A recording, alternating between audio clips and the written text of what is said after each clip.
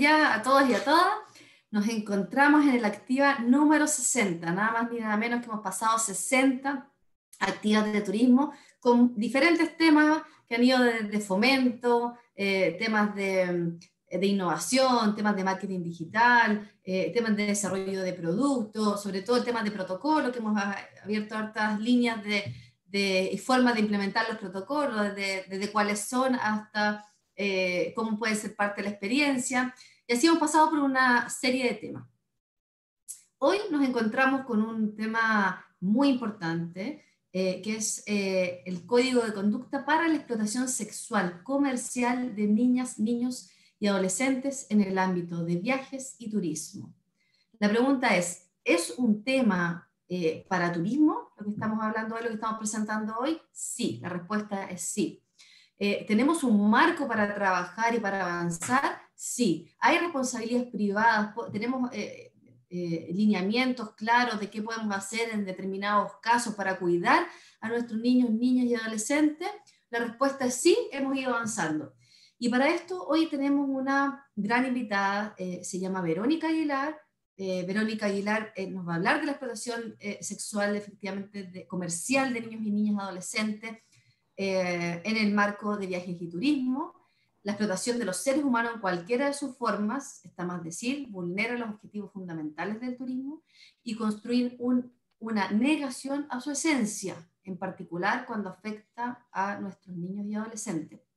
Nosotros en Chile firmamos el el Código de Ética de la Organización Mundial de Turismo el año 1999, donde efectivamente uno de los puntos es la responsabilidad, la ética, donde se enmarca también este trabajo. Eh, Verónica nos hará una exposición y también tenemos al final eh, de la exposición, vamos a tener también a dos invitadas internacionales, que es Susana Cafaro, coordinadora del Código de Conducta eh, en la República Argentina, y Rosana Fustago también, que es presidenta de la Federación Internacional de Asociaciones eh, de Ejecutivas de Empresas Turísticas de Paraguay. Ya es también gerente general de operadores de turismo Nuestra Señora de Asunción, vicepresidenta de la Asociación de Agencias de Viajes también de ese país y directora de la Feria Internacional de Turismo Paraguay. Ya tenemos aquí una, es una gran invitada que ha avanzado mucho en esos temas y que al final le vamos a hacer también un par de de preguntas para conocer en ambas el, escenario y la realidad argentina eh, y Paraguay. ¿ya? Pero para abrir, para abrir el tema, para conocer del tema, para entenderlo y madurarlo, tenemos aquí a Verónica Aguilar, técnico en turismo, psicóloga, diplomada en geriatría y gerontología de la Universidad de Chile, también en marketing estratégico de la Escuela de Negocios, la Adolfo Áñez, magíster en gerontología social de la Universidad Autónoma de Madrid, eh, y trabaja en Cernatur, en nuestro Cernatur desde el año 1984 eh, y actualmente está dentro de la unidad eh, de desarrollo local de la Subdirección de Desarrollo de Cernatur, donde se coordina y ha impulsado, sido una impulsora de este tema tanto a nivel nacional como internacional. Así que sin más con esta presentación y como les digo, vamos a hacer la presentación, después vamos a tener un par de preguntas para estas dos grandes invitadas que tenemos internacionales y por supuesto, como siempre, el espacio de dudas, consultas, comentarios, sugerencias al final de esta presentación. Ya así que sin más eh, contexto, porque el contexto nos dará también eh, Verónica, te dejo a ti por favor, Verónica, para que nos hagas la, presentación. Muy bienvenida al día de hoy a la actividad turismo a este espacio. Bueno, realmente, gracias Beatriz, realmente es un honor de ser parte de esta importante iniciativa que hemos llevado adelante como Senatur, que son los Activa Turismo. Sin duda que cuando uno habla de turismo siempre lo relacionamos a cosas muy positivas, ¿no? En estados emocionales que, que están agradables, ¿no? De, de, salir, de caminar, de encontrarse con los amigos, de, de, de tomar sol. Siempre son cosas agradables.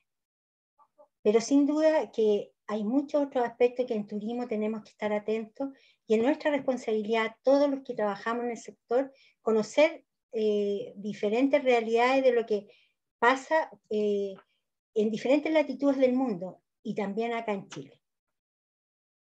Eh, y para empezar esto yo quiero que se pongan en el lugar de pensar qué pasaría si a ustedes le dijeran que alguien cercano alguien que ustedes aman mucho, un hijo, un sobrino, una sobrina, ha sido y ha sufrido una explotación sexual, o ha sido abusada. Sin duda que son aspectos que eh, no son fáciles de, empezar. Eh, Laura, ¿me puedes decir si se ve bien la presentación?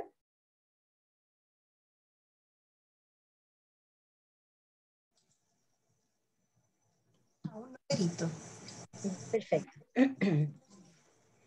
Bueno, yo voy a abordar eh, cinco temas que sin duda son, nos asusten porque son eh, cortitos, que eh, nosotros como Senatur tenemos estas capacitaciones para brindárselas a quienes quieran.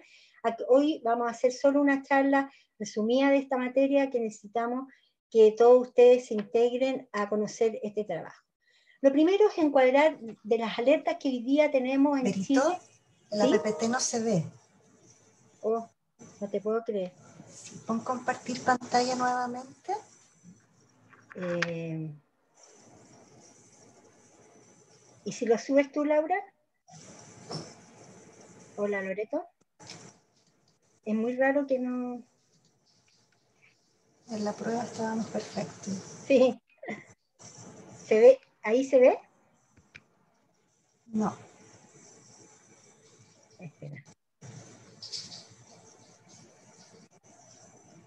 Espérate, aquí, aquí voy, ¿eh? ahora.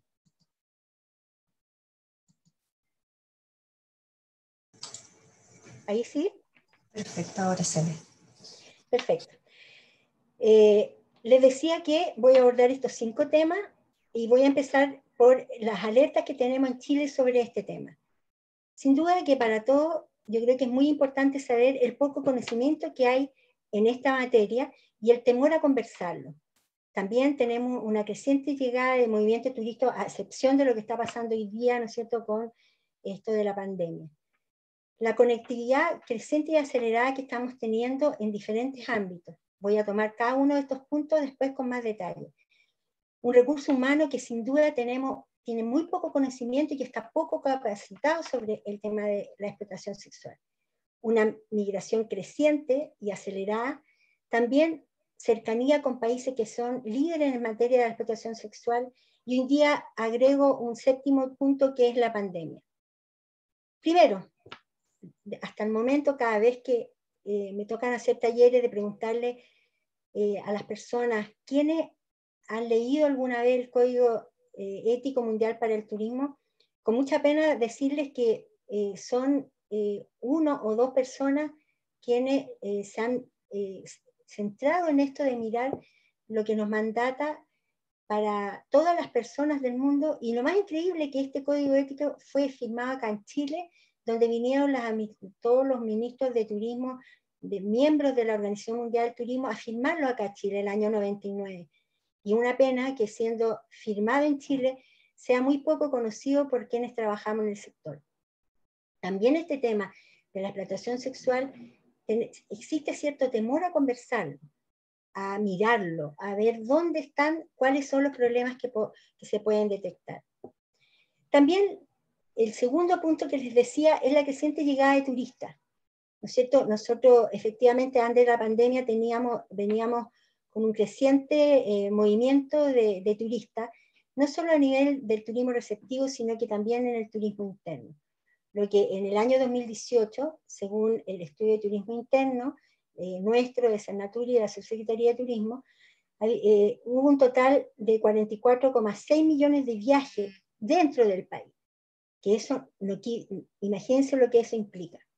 También esta conectividad acelerada, ¿no? de llegar nuevas rutas que se van incorporando, nuevas líneas aéreas, nos ponían en un tremendo complejo de escenario de que si bien para el turismo esto es maravilloso, que llegue más gente, que haya una conectividad acelerada, que existan nuevas líneas aéreas, sin duda que para este tema es una alerta, porque a mayor movimiento, mayor posibilidad de que nos encontremos con este tipo de problemáticas. Eh, incluso de los 10 de los 10 vuelos más directos que tenemos y que son con mayor movimiento, Acá puse 10 y fíjense que yo tengo con rojo, puse 2, que ya van a ver por qué los destaqué dentro de estos 10 vuelos más populares que tenemos en Chile por la cantidad de movimiento.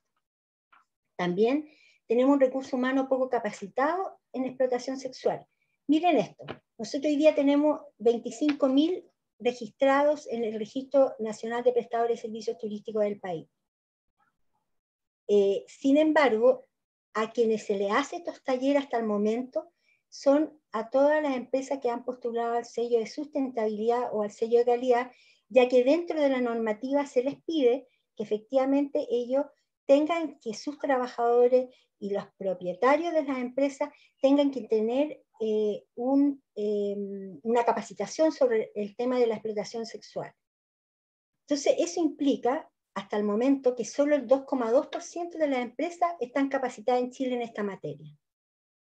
Por su parte, por otra parte, la formación de la Institución de Educación Superior de Chile, aquí tenemos la realidad que tenemos en la universidad, en los liceos técnicos profesionales, en los centros de formación técnica, eh, universidades e institutos profesionales, obviamente que cuando uno empieza a ver a lo más algún taller que hemos realizado nosotros como Senatur, pero la verdad que hoy día no está dentro de sus mallas curriculares. Otro tema que también se nos, ah, eh, empezamos a ver afectado es con la migración acelerada que hemos tenido y que obviamente eh, empiezan a llegar ¿no de otros países como Venezuela, Perú, Haití, Colombia y Bolivia. Eh, y aquí están, como ustedes pueden ver, los porcentajes de llegada de, de estos migrantes. Y esto lo van a ver también en la gráfica que les voy a mostrar, por qué nos preocupa la llegada de la migración acelerada. ¿Se acuerdan que había puesto en cuanto en, esta conectividad acelerada a los países? Pues bien, aquí ustedes ven la cercanía con países líderes respecto del ESNA. Eh, tenemos en segundo lugar a Brasil, que está muy cercano a nosotros, y Colombia, ¿no? Entonces, sin duda que esto, de alguna u otra manera, también nos tiene que poner en alerta sobre esta materia. Hoy día la pandemia también ha sido, y esto el Instituto Interamericano del Niño, la Niña de la OEA, nos ha puesto en alerta a los países porque dentro de, la problemática de la pandemia, obviamente que existen condiciones que se van dando para que eh, eh, existan eh, problemas respecto de la posibilidad de que exista abuso con niñas, niños y adolescentes. Bueno, pero ¿qué vamos a conocer entonces hoy día? ¿Qué son las modalidades donde se da esto de la explotación sexual? Tenemos la pornografía infantil, nosotros en los talleres que hacemos abordamos un poco más, yo solo hoy día se los voy a anunciar, la pornografía infantil, la trata de niñas, niños, adolescentes, los matrimonios forzados y la explotación sexual, que es en la que nos vamos a centrar hoy en, la, en esta mañana. Nosotros en, en, en, la Declaración de Estocolmo, en el Congreso Mundial contra la Explotación Sexual, donde Chile también firmó este, este, este acuerdo, esta declaración, se pusieron de acuerdo los países y dice que comprende el abuso por parte de adultos y la remuneración en metálico, en especie, al niño o niña eh, y o a una tercera persona o varias. El niño es tratado como un objeto sexual y una mercancía.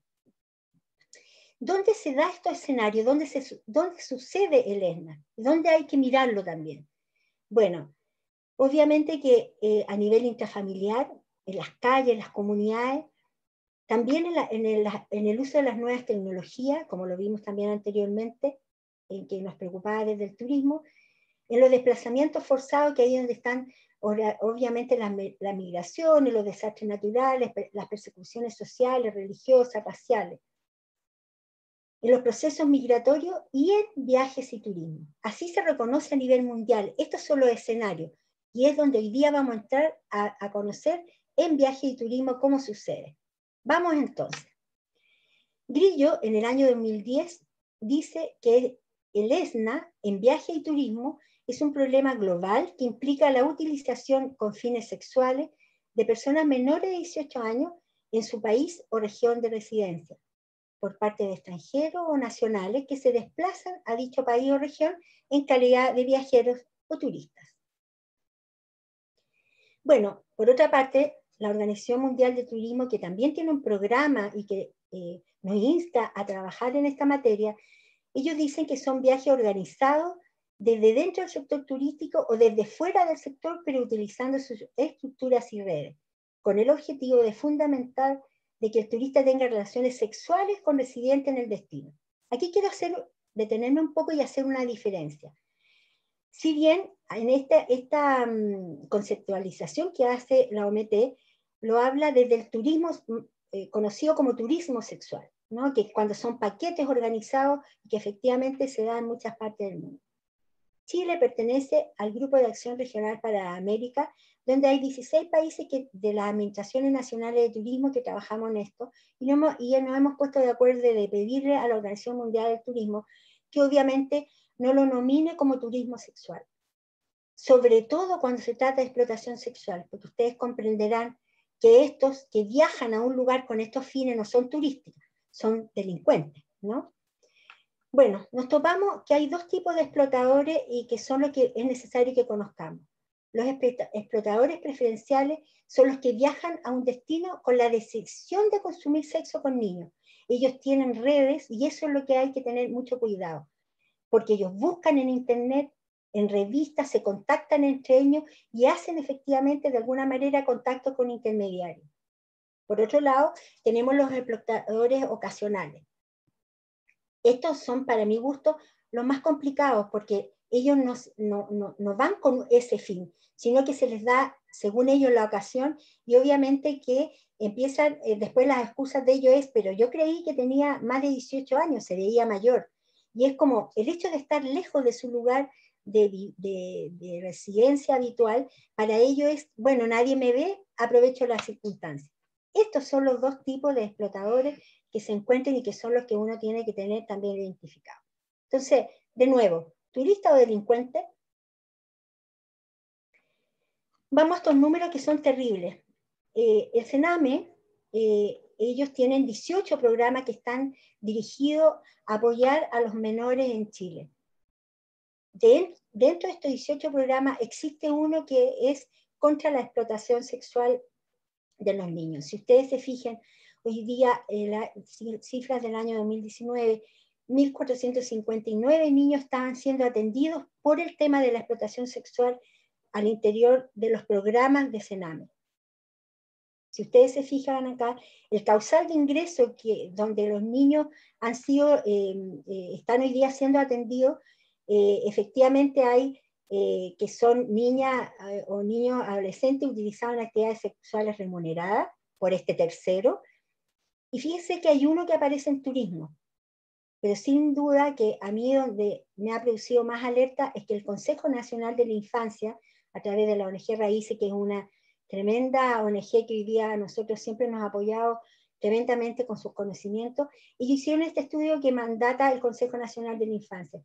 Y ellos ponen en alerta que efectivamente hay, podrían haber muchos más eh, niños, porque estos son los que están siendo atendidos en el Sename, pero hay otros que efectivamente, sobre todo, ¿no es cierto?, cuando llegan eh, barcos a, todos los puertos que vienen, eh, obviamente que eh, se produce em, esta bajada de turistas que eh, trae tremendamente eh, intenciones de tener sexo con personas, a veces como le decía, con, el, con, con este personaje que, que, ocupa de alguna manera el, el, entorno y que dice es una posibilidad y la aprovecha, es lo complicado. 225 niños que han sido utilizados en pornografía infantil 19 con fines de trata eh, y obviamente que eh, de explotación sexual y eh, propiamente tal de explotación sexual 190.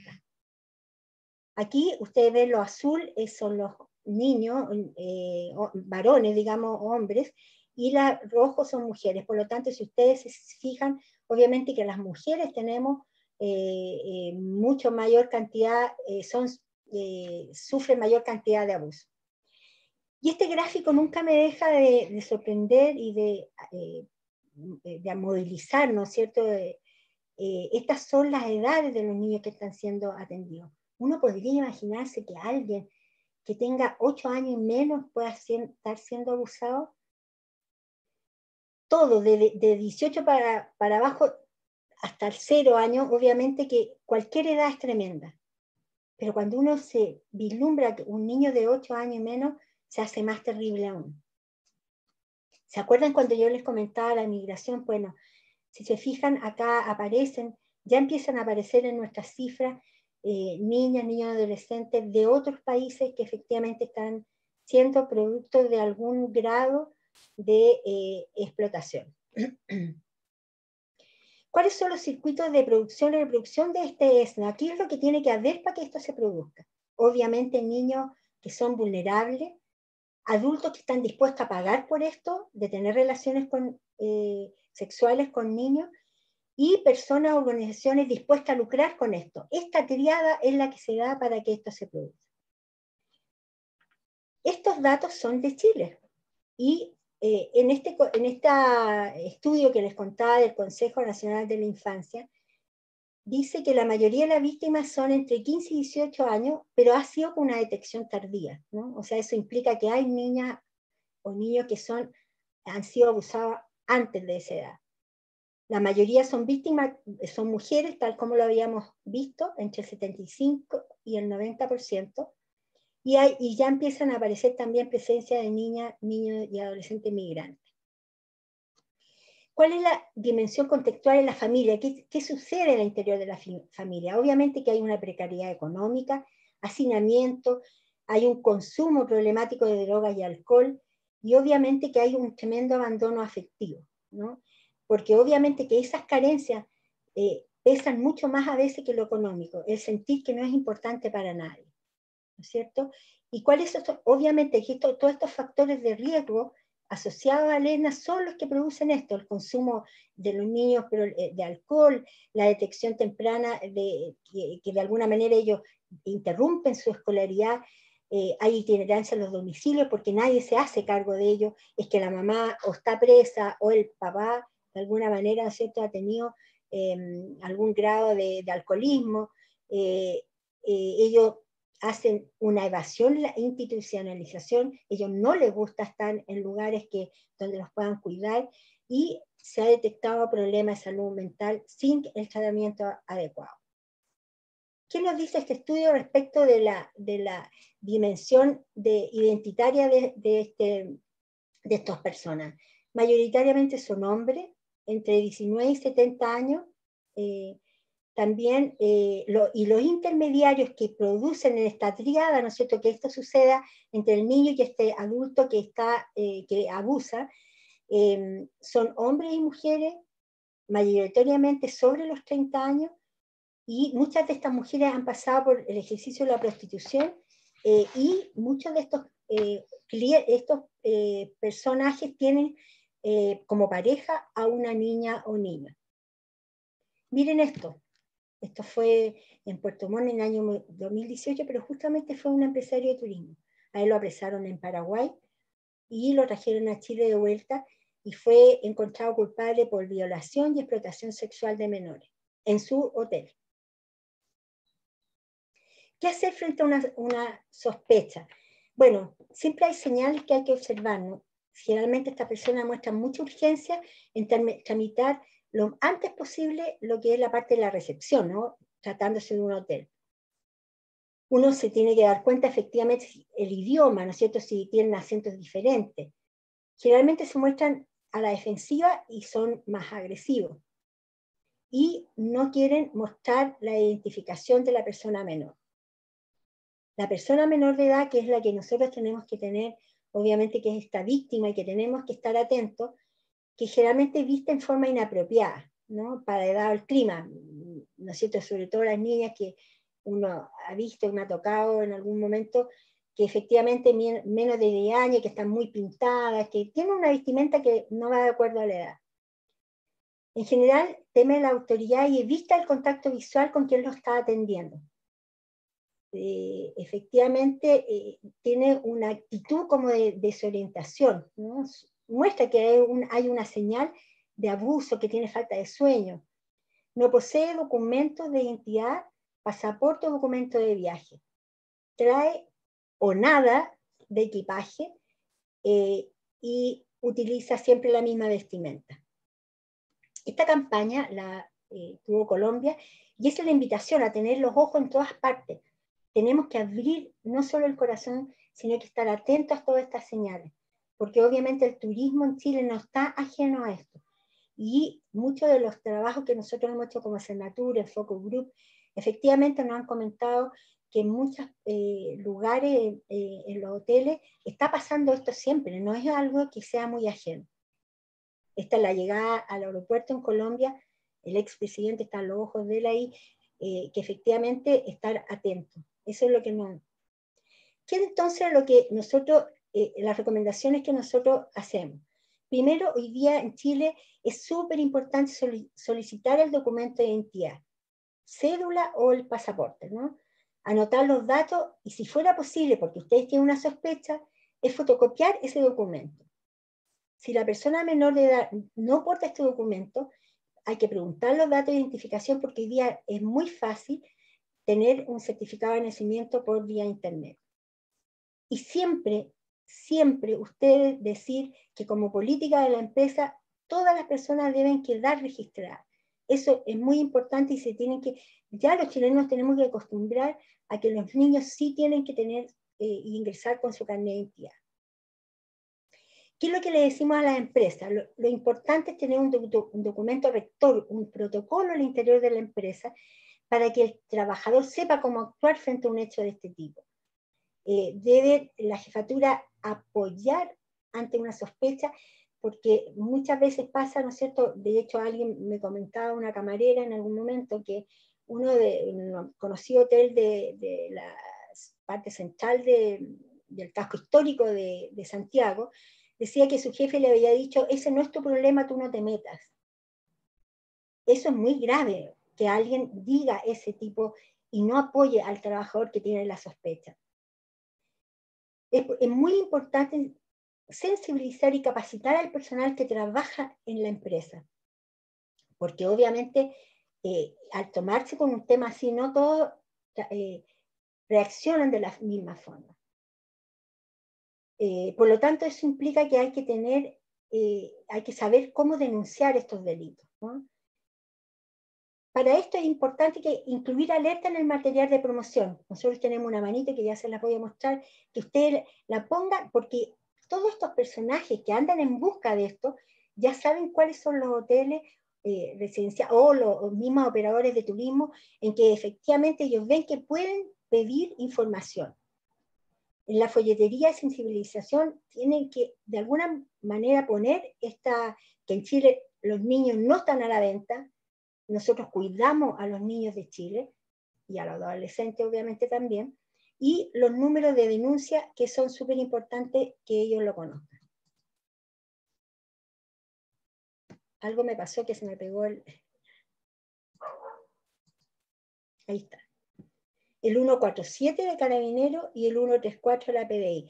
Es súper importante esto porque generalmente estos son los que, eh, estos números son, hay un grupo detrás que se preocupa de esto, ¿no? Finalmente, presentarle el código de conducta que nosotros como Senatur con la Subsecretaría de Turismo, eh, eh, eh, de alguna manera empezamos a, crear esto, ¿cómo era? Porque muchos de los países ya lo tenían y fue creada, ahora en junio salió la resolución exenta, donde efectivamente tenemos este código de conducta. ¿Para qué sirve? Obviamente que sentirse comprometido con este trabajo de apoyar y de ayudar a que por ningún motivo ningún niño de Chile sufra este flagelo, ¿no? Tener principios éticos. Y obviamente que tener, eh, eh, este, el tener esta, esta definición de alguna manera eh, hace que la empresa se sienta em, renombrada, que efectivamente está, siendo, se está preocupando por, un hecho, por los hechos ilícitos. Además, proporciona líneas claras para los empleados, que cómo tienen que trabajar esto. Eh, y, obviamente crear conciencia sobre este problema que tenemos en el país y que si bien todavía aún eh, no se ve como en otros países, sí existe en Chile.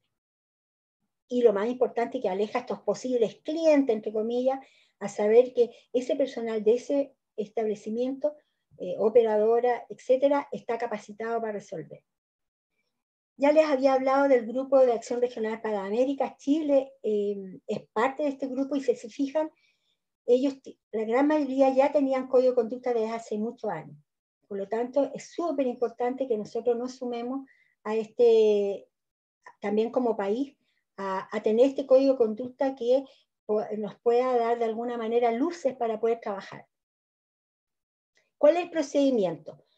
Lo primero es, eh, eh, en la página de Senatur ustedes pueden bajar una carta, que es la que está a la mano izquierda, que es un formato, donde ponen sus datos y lo envían a Senatur, a esna.senatur.cl, y Cernatur le entrega este certificado que para que lo pongan en lugar visible, donde efectivamente eh, em, lo, lo, ponen como una empresa adherida a este código de conducta.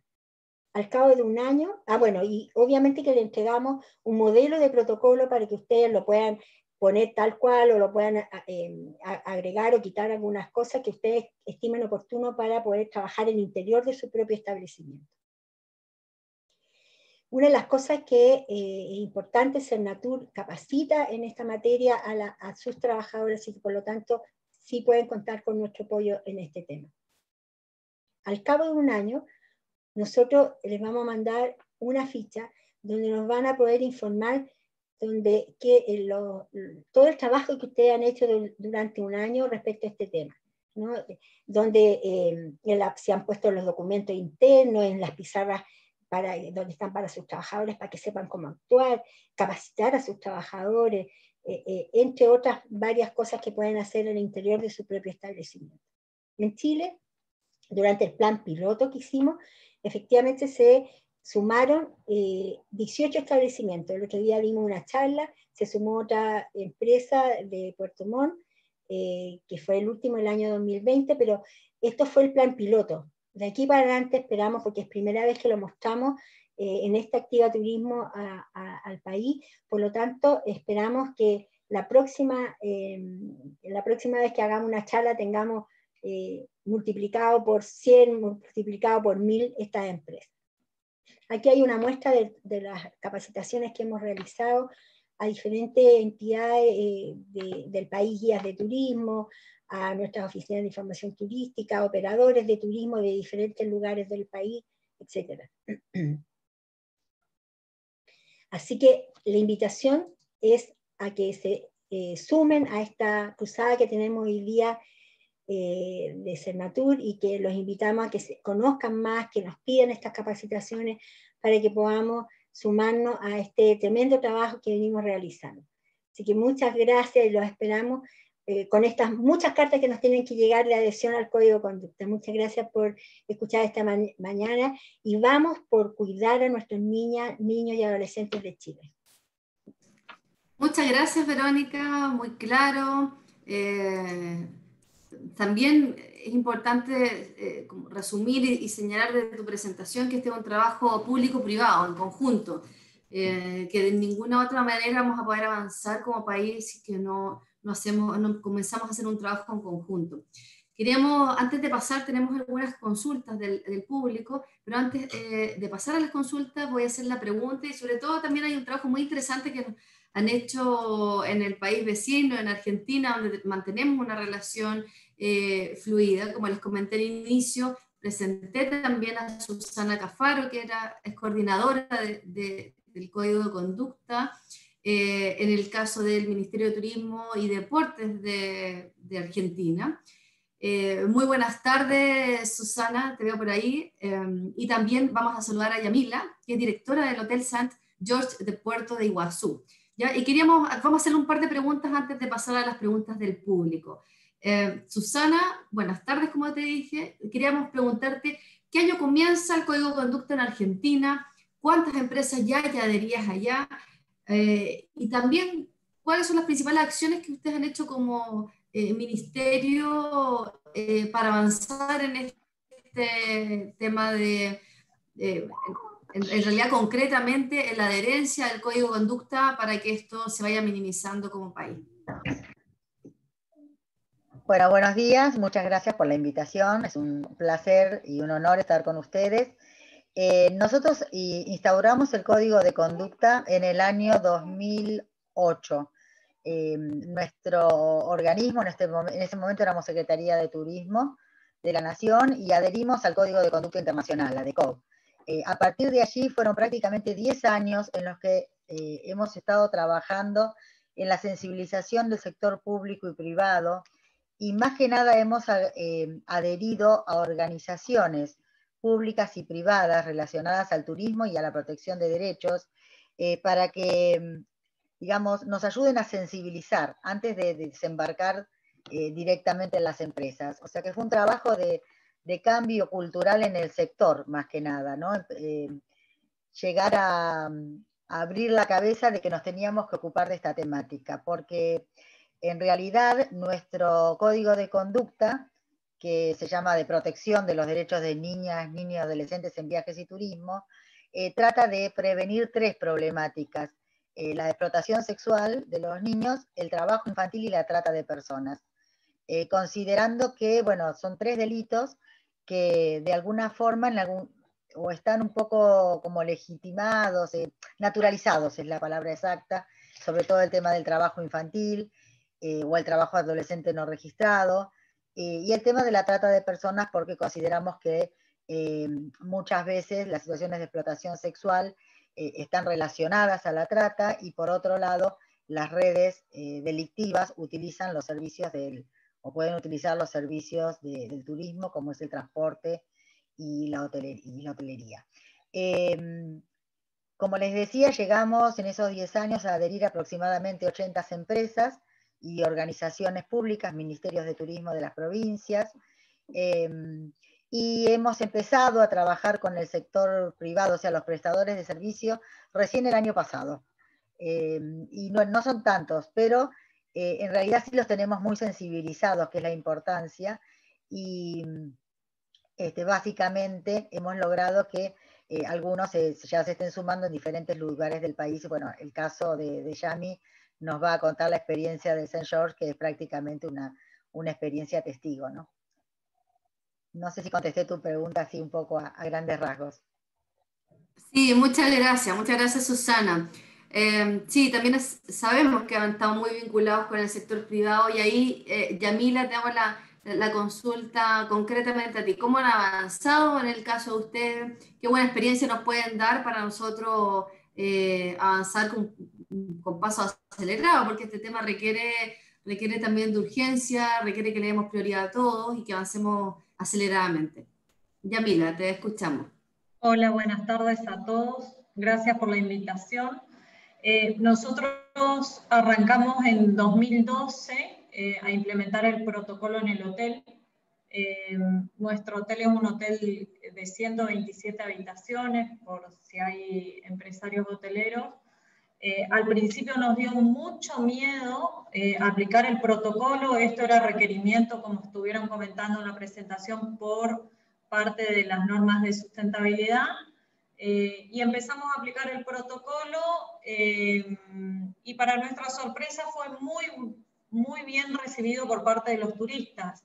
Eh, les llamaba la atención, pero cuando eran familias se sentían muy seguros después de que le comentábamos el protocolo.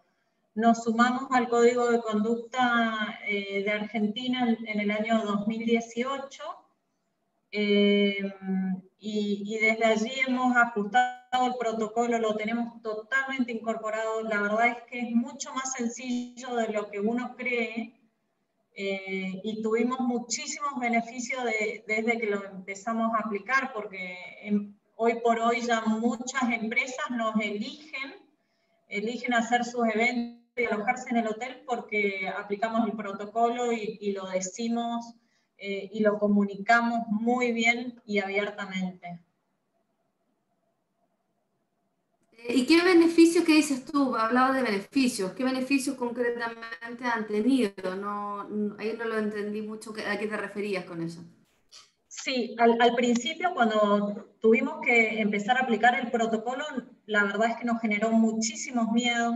Teníamos miedo de, de hablar del tema, que era un tema tabú. Teníamos miedo de asociar al, al hotel con ese tema que antes nunca se hablaba teníamos miedo de asociar el destino con, con, el tema, el hotel está en Puerto Iguazú, Misiones, en frontera con Brasil y Paraguay.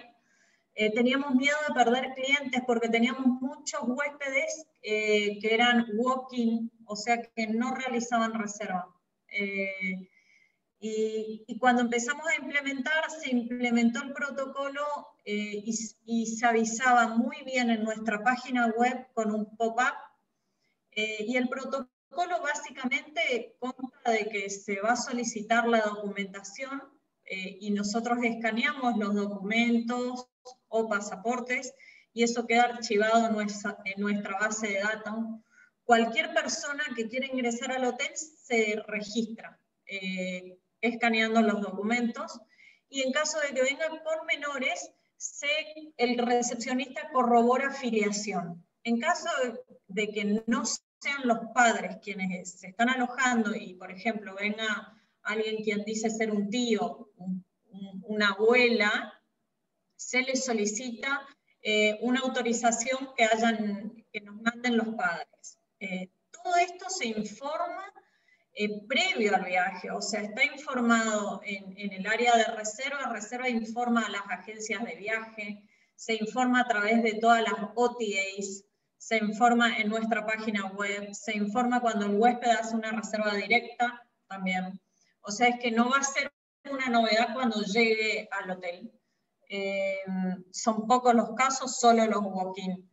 Y, y, la verdad es que en, en todos los procesos que tuvimos mediante reservas no hemos tenido eh, grandes complicaciones para nada. Eh, y hubieron muy pocos casos en que fueron walking y cuando se les solicita la documentación decidieron irse. Em, entonces, una vez que ha sucedido eso, es que a nosotros nos llamó la atención, estoy hablando de que habrán sido Mm, dos casos en un año.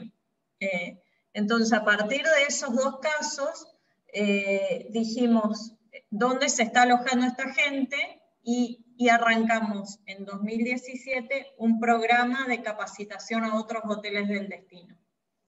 Entre los beneficios que me preguntabas, Beatriz, es que em, las familias que se alojan con nosotros nos comunican que quedan muy conformes porque les da mucha seguridad y tranquilidad y, es como que se despiertan y dicen, wow, esto eh, puedo exigir a los comercios o a, los hoteles y, de allí en más genera más conciencia y luego eligen y nos vuelven a elegir por la aplicación de este, de este protocolo.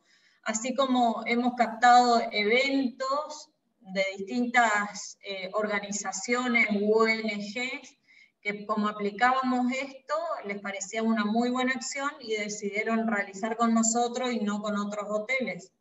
Eh, así que nosotros a lo largo de todos estos años que venimos aplicando el protocolo realmente eh, nos parece que fueron, fueron más los beneficios que las pérdidas.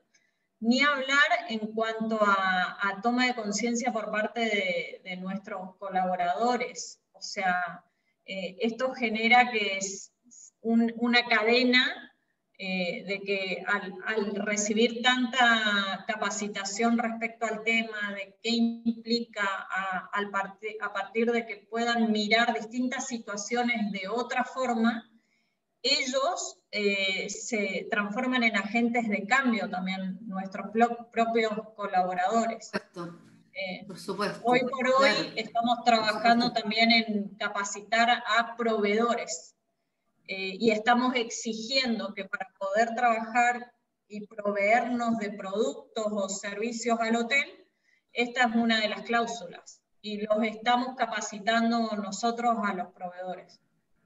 Excelente. Oye, muy bueno saber el caso, muy completo y te felicito porque la verdad que yo entiendo, entiendo que están abriéndose un poco más y esto es amplificación porque empiezan a, por supuesto son capacitados para el lugar de trabajo, pero como tú bien dices, al final son puntos focales para otros lugares que, no, que muchas veces son fuera del lugar de trabajo y, que tienen que ver con el cuidado de los niños, no solo ahí, sino que en todos lados, ¿no? que es por donde debemos apuntar. Así que te agradezco un montón, muy bueno el, el, el caso. Em, van a ver, hay más preguntas que les voy a ir derivando. Eh, en el caso de Chile, Verónica, nos preguntan, eh, precisamente lo que estamos hablando ahora con Yamila, nos preguntan de las capacitaciones. eh, muchos les interesa capacitarse. Eh, ¿Para dónde voy? ¿Quién tengo que ir a, la dirección regional de Senatur? Eh, en los casos también que no tienen sello de sustentabilidad y sello de calidad, que fuimos los, fueron uno de los casos que, presentaste tú. ¿Cómo lo hago? ¿Cuál es el contacto? Porque hay muchos interesados también en avanzar ya con este tema. Sí, mira, eh, gracias Beatriz. Mira, efectivamente en un principio nosotros, como tal lo comenté, los sellos S y Q lo tienen como algo obligatorio para obtener el sello. Pero sin embargo, a partir de ahora, desde que tenemos el código de conducta desde junio, la idea es hacerlo extensivo para todos los eh, operadores de turismo eh, y todo lo que es alojamiento. Em, también guías de turismo que, quienes se quieran capacitar. La idea hoy día es que sea generalizado, no solo centrado en, alguna, en algo especial. Ahora, sí, nuestras direcciones regionales hoy día cuentan con las capacidades para poder y competencias para hacer esta, estos talleres, pero obviamente por el tema de la pandemia lo estamos haciendo vía virtual. Los anteriores lo habíamos hecho en forma presencial y muchas veces también invitábamos a otras eh, personas que son parte de este trabajo, porque estaba leyendo acá y efectivamente eh, nuestra labor hoy día es contribuir, pero que las policías son los que, los que tienen que hacer este trabajo, acuérdense que no es que ustedes por ningún motivo puedan eh, tomar algún día la, iniciativa de retener a alguien o, decirles algo. Siempre estar atento y quien hace todo esto es, son las policías y tienen que tener estos números de teléfono a la vista de sus trabajadores para que así puedan efectivamente hacer la denuncia. Por lo tanto, la invitación es a que todos hoy día pueden tener esta capacitación de Senatur. Verónica, eh, y aprovecho de, preguntarte también, hay otro, otro, grupo de personas que nos está preguntando, eh, o a lo mejor no, no, no, no quedó claro, no fuimos suficientemente claros, ¿cómo yo obtengo el, la, la, manito? ¿Cómo, tengo el, ¿Cómo yo me adhiero concretamente al, código? Al código? Eh, ¿A quién escribo? Si podemos repasar eso nuevamente. Sí, sí, porque bueno, fue como rápido y como es por primera vez, quizás, claro, Miren, hay dos formas de hacerlo. Una, que escriban a esna.cernatur.cl, a ese correo, o bien se, puedan ingresar a la página de Cernatur, ahí está el código conductista, la carta, que la puedan bajar ustedes, la puedan firmar, llenar eh, todos sus datos y lo mandan a Cernatur. A partir de eso, Cernatur le va a hacer llegar el certificado para que ustedes lo puedan poner en lugar visible, para que vean eh, quienes lleguen ahí que ustedes están siendo adherido a este Código de Conducta de Chile. Eh, así de fácil es, lo importante es que durante el año que ustedes tienen que ir haciendo acciones, efectivamente, que les vamos a preguntar cuál ha sido su trabajo durante el año, también sientan nuestro trabajo en conjunto con ustedes. Si tienen dudas o de repente hacerles capacitaciones ya un poco más eh, eh, centradas en el tema, por ejemplo, con el Instituto Interamericano del Niño, la OEA, eh, invitar a la ONG Raíces, o sea, hay muchas temáticas que podemos ir eh, ampliando para ir conociendo y metiéndose mucho más en este tema. Pero eh, vuelvo a reiterar, es mm, en la página de Senatur donde está y también solicitarlo a través de esna o mi correo aguilar que obviamente les vamos a contestar y mandar todos los documentos necesarios. Em, gracias, Verónica. Em, una pregunta para Susana. Eh, ¿Cómo, en, el caso argentino, cómo, porque nos están preguntando también el caso chileno, pero después le voy a hacer la pregunta a Verónica si vamos a hacer difusión en términos de comunicacionales, para que las empresas puedan adherirse y para que puedan replicar también esto, un poco para, hacerlo tema, ¿no? A nivel más eh, país. En el caso de Argentina eh, han hecho este ejercicio antes, pero un poquito más comunicacional para que haya una sensibilización del tema a nivel país. ¿Han avanzado en eso y cómo han avanzado concretamente? Nuestro caso ha sido, como te decía, el, trabajo articulado público-privado y con otros organismos del Estado. Y eso se debió a que cuando comenzamos a adherir a estas organizaciones que yo te comentaba antes, em, creamos em, la red de adherentes a la promoción del código de conducta y que eso nos permitió ir generando reuniones, eh, comenzaron siendo mensuales, después en algún momento se distanciaban un poquito más, donde eh, presentábamos políticas públicas en relación a las temáticas que abordaba el código de conducta y trabajábamos conjuntamente en lo que podrían ser los protocolos y en la forma de generar algunos tipos de, a veces de, actividades comunicacionales, como fue por el ejemplo de cuando en el 2011 tuvimos la Copa América, se hizo un, flyer que transmitimos a través de las redes sociales y que salió de ese grupo.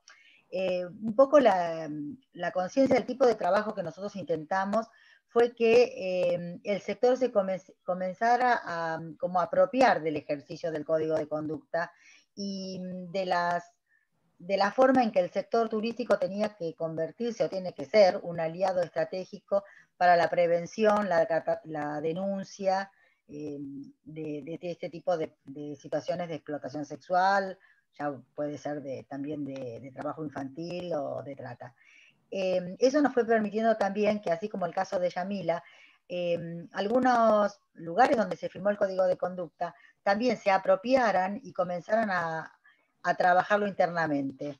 Eh, una de las de los ejemplos es Ushuaia.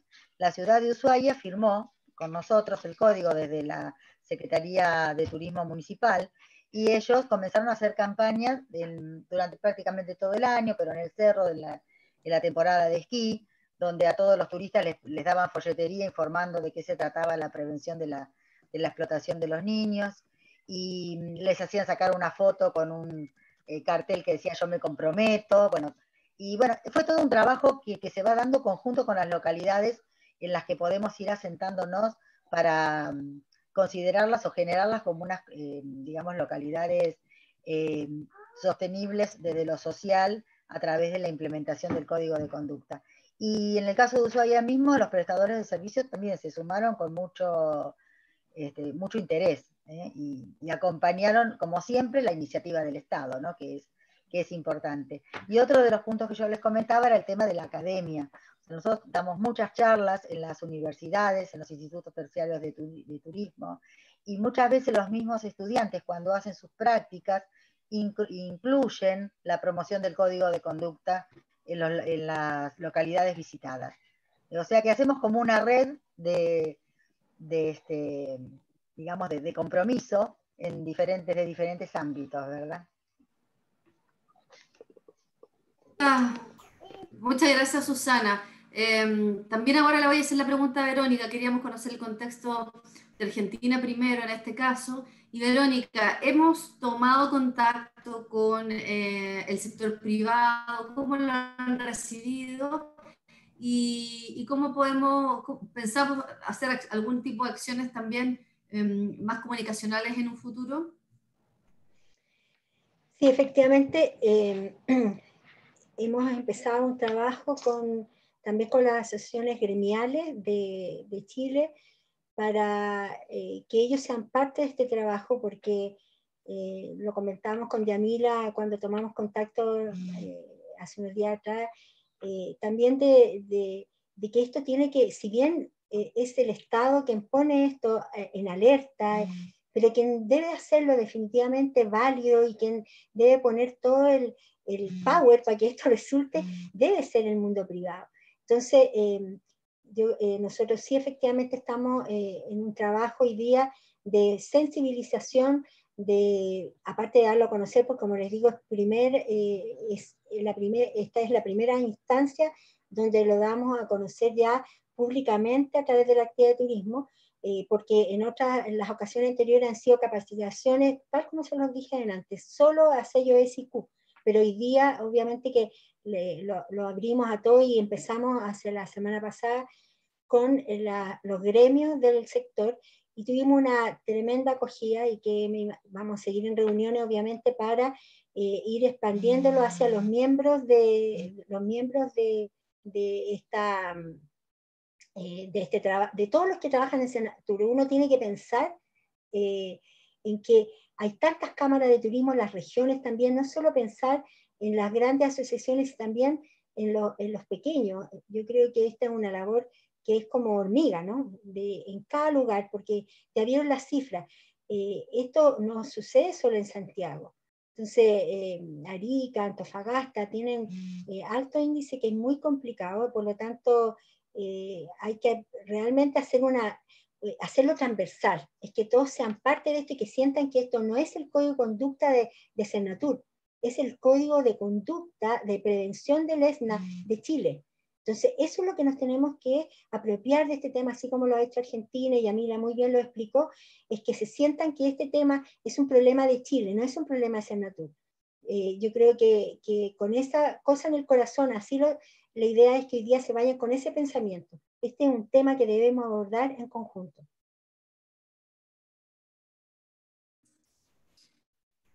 Eh, muchas gracias, Verónica. Em, para, para, ya para ir cerrando, una última pregunta bastante concreta como de preocupación que hay. ¿Qué, qué pasa con, con, los niños eh, cuando, cuando existe la denuncia? ¿Qué ocurre en el caso chileno? Pregunta Marcelo, ¿se los llevan al Sename? ¿Qué, qué, cuáles son los pasos a seguir?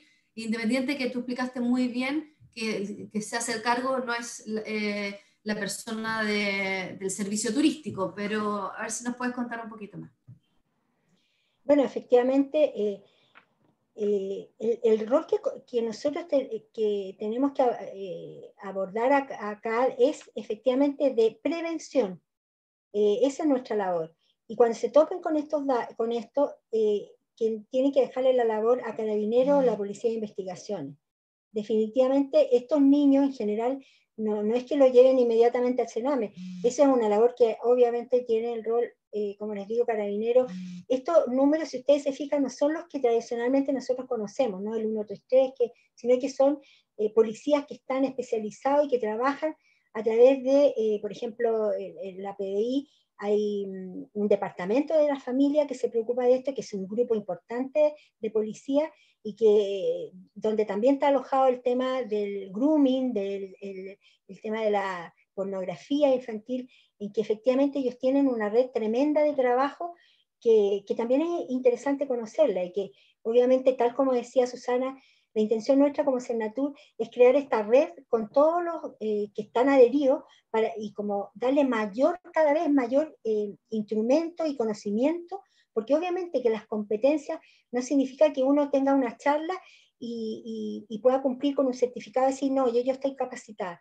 Esto es un trabajo constante, porque eh, como ven, generalmente la parte de, de lo que es la, el grooming y todo lo que es de, informática es día a día. Entonces, eh, hay que estar constantemente capacitándose para saber lo que va pasando. Eh, yo lo que creo es que es muy necesario eh, que el turismo tome esto como, como, algo suyo. A mí me da mucha pena cuando pienso que se habla de tantas otras materias y le dan mucha importancia, que obvio que en el turismo nada deja de ser importante pero hay que abrirse a esta área de la ética y la responsabilidad social que tenemos. En, en, todo lo que es las localidades, eh, todo lo que son las comunidades locales, hay que cuidarlas para el turismo. Y una forma de cuidarlas es esta. Eh, ya ves lo que pasó en Puerto Montt, hay otras experiencias también, incluso desde el propio turismo, hay un camping en la región de Aysén, donde el propietario también tuvo un hecho de abuso con, que salió y que hoy día está eh, muy complicado el, dueño de este. Entonces, no es solo la gente que, que va de visita, también estar alerta a las cosas que van pasando alrededor. Yo creo que Yamila dejó muy claro que atrévanse porque eh, la gente ya esto lo está valorando. ¿No? Así como pasa con, con eh, todo lo que es la parte de sustentabilidad, en que el turista prefiere ir a lugares sustentables, esto es parte de la sustentabilidad el tener un, lugar que proteja a los niños, que esté al día lo que está pasando, significa que es un lugar confiable. Entonces, atrévanse a, poner esto como un importante trabajo de su empresa. Muchas gracias, Verónica. Eh, ya vamos a ir terminando. Voy a dejar la última palabra si es que quiere decir alguna idea, fuerza, Susana y Yamila, para, para despedirnos. Eh, Vero, yo me quedo con, con eh, tus palabras de que esta es una responsabilidad país, es una responsabilidad de todos, es una responsabilidad de nosotros como Cernatur, eh, pero también del de, sector privado. Todos tenemos acciones que tomar y lo importante es ah, empezar y avanzar rápidamente en este camino porque finalmente lo que se trata todo esto, más que de un código de la forma, se trata de proteger a nuestros niños, niñas y adolescentes. Eh, sin más, Susana, te agradezco mucho. No sé, no sé, si nos quiere decir unas palabras de cierre y así también Yamila. Sí, yo lo que querría reforzar es este trabajo conjunto que se está haciendo a nivel global en relación a los objetivos de desarrollo sostenible. Eh, bueno, eh, creo que la receta mágica, si la pudiéramos llamar como mágica, para el tema de la implementación del código de conducta en cualquier país, es la palabra mágica del objetivo 17 y es articulación. Articulación público-privada, articulación entre los demás ministerios, porque cada uno tiene su rol. Nosotros podemos trabajar como turismo desde la prevención, pero tenemos que apoyarnos en lo que hacen los sectores de, protección de la niñez, los sectores de, digamos, que, persiguen el delito. Entonces, e, esa palabra es básica, ¿no? Es que articulemos y en la articulación público-privada eh, voy a, comentar, nosotros trabajamos también mucho con la Asociación de Ejecutivas de Empresas Turísticas, la FED, eh, que hacemos ya desde hace tres años un curso de formador de formadores en relación a las temáticas que aborda el código de conducta, que nos permite llegar y capacitar a gente de todo el país eh, que puedan replicar después este tipo de, charlas y de trabajo de sensibilización. Y también lo puede contar eh, muy bien, Verónica, tenemos la articulación a nivel regional, el Grupo Regional de Acción de las Américas, donde los ministerios de 16 países, desde México hasta Argentina y Chile, o sea, bien al sur, eh, estamos trabajando conjuntamente en la prevención de la, de la explotación sexual de los niños y en la promoción de los códigos de conducta. Y bueno, nada más, muchas gracias por el espacio y la atención de todos. Gracias a ti, Susana. Yamila, ¿alguna palabra de cierre para nuestro país, para Chile?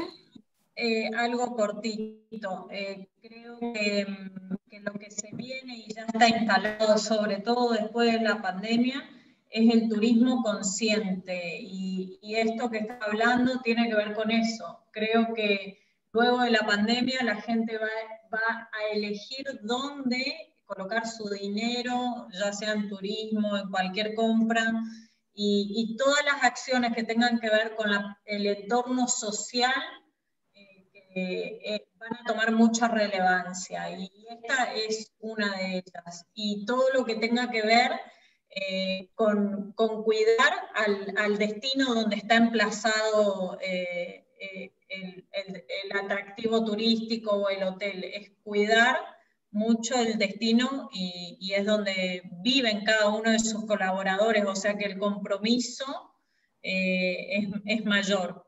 Eh, es eso nomás. Muchas gracias por la invitación y me encuentro a disposición. Gracias. Eh, Vero, no sé si ya con, cerraste o quieres una palabra de cierre. no, solo agradecer a nuestras invitadas porque sin duda han reflejado, ustedes van un poco más adelante que nosotros y esperamos poder eh, el día de mañana, cuando ustedes nos inviten a nosotros, podamos decir que tenemos muchas buenas novedades desde este rincón de, de, las Américas. Así que un saludo también a los que nos han acompañado de otros países que están acá, eh, que nos están mandando saludos. Así que eh, también a, los grupos, al Grupo Acción Regional para las Américas. Así que muchas gracias y muy buenos días. Buenas tardes. Así vamos, vamos a avanzar efectivamente eh, y rápidamente en esto. Vamos a, mostrar ejemplos. Ahí, Verónica, eh, hay mucho agradecimiento hacia ti. Te agradezco también, has sido una impulsora de Chile en este tema, a, a través también de la red internacional donde formas parte. Así que los dejamos invitados también, muchas gracias, los dejamos invitados para la próxima semana. Tenemos el martes y jueves nuevos activas, siguiendo con temas de sustentabilidad, de ética. El día martes tendremos a Natalia Naranjo, Jorge Moller, Leonardo Latorre, eh, que es el, equipo del Global Sustainable Tourism Council, eh, y nos presentará una charla de sostenibilidad. Y después el jueves volveremos a tener a Superintendencia de Solvencia y Reemprendimiento, que nos contarán de las asesorías económicas de insolvencias también gratuitas que hay eh, hoy día para las empresas turísticas. Así que, bueno, sin más, nos vemos la próxima semana y que tengan una muy buena tarde todos. Chao, chao.